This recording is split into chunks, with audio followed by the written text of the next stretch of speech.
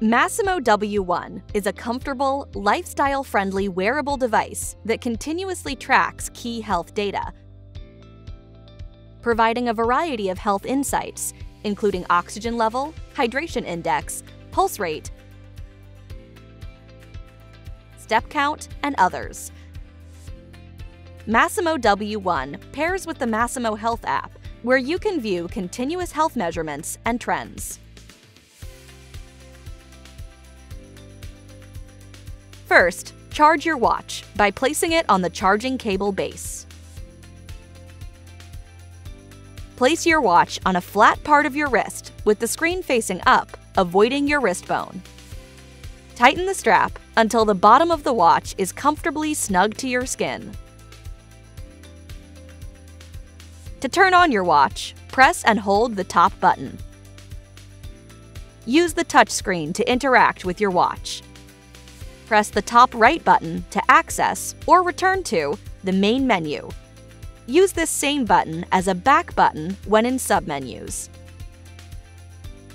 The lower Live Screen button will be used to access your live health data. From the watch face, tap the lower button once to turn off the screen.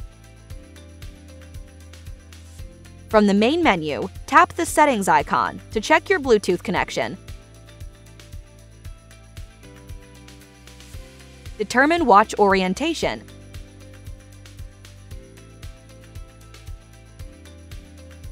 Swipe downward to view the watch status screen to check battery status and band tightness. Next, download the Masimo Health app on your smartphone. Create a username and password, and enter your personal information to set up your account. To pair your devices, make sure Bluetooth is enabled on both your watch and your smartphone.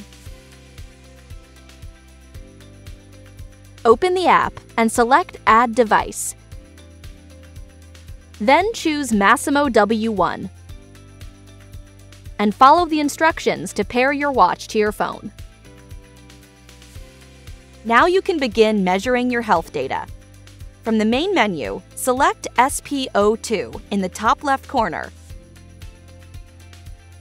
Then press Start to begin measuring your oxygen level. You will then see your live data. Hydration index, step count, and more will be collected automatically. Your hydration index will range from negative 5 to 5. If any health measurement is unavailable, your watch may simply be working to collect your data. Tap or swipe the screen at any time to interact with the watch, and press the lower Live Screen button to view your live data. You can also check the app to view data and trends over time.